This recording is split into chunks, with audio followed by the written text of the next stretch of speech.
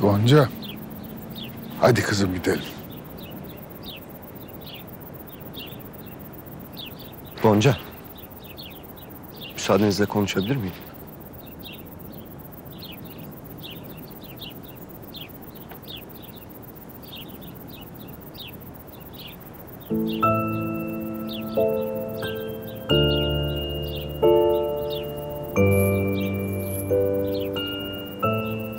Yüzün, annenin yüzüğü tekrar sana geri veriyorum.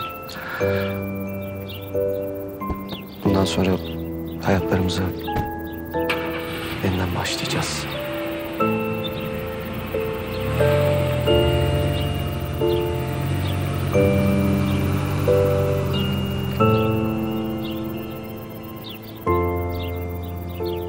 Ama öncesinde benim sana bir şey açıklamam lazım.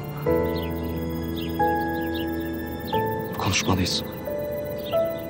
Mutlaka konuşalım.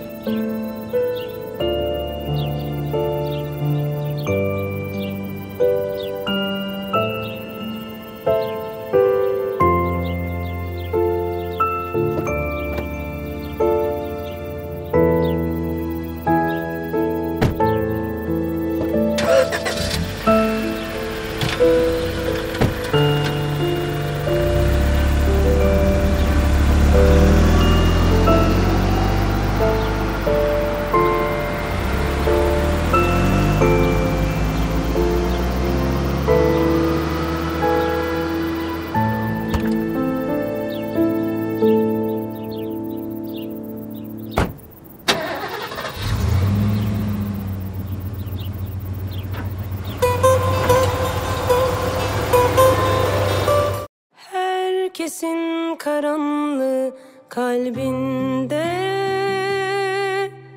Herkesin hikayesi gizli bir yara. Kimsesiz bir gölgeyim yapayalnız